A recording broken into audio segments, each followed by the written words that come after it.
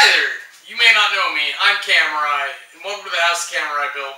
This production company, as fledgling as it may be, we're, we're trying to raise some money to start our very first card game project. The game is called Nine Card. It's very simple basis. You play cards down to a 3x3 grid against your opponent, attacking with columns.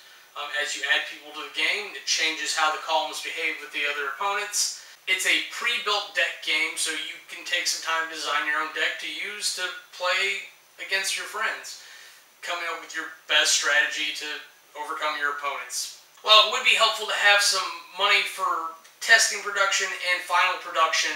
Mostly, I'm trying to look to have some money to pay artists to do the work because I'm a mechanics guy. I look at the game and figure out how to play it, break it down. Not the best with a pen, so hopefully I can get a couple artists on board and you guys can help me pay them.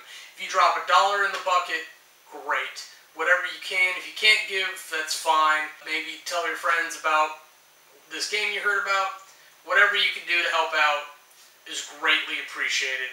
Never give more than you can give, but whatever you can give, we could use or at least my artists could use. I can't imagine the process taking more than six months. I've been doing game design stuff for over 10 years now.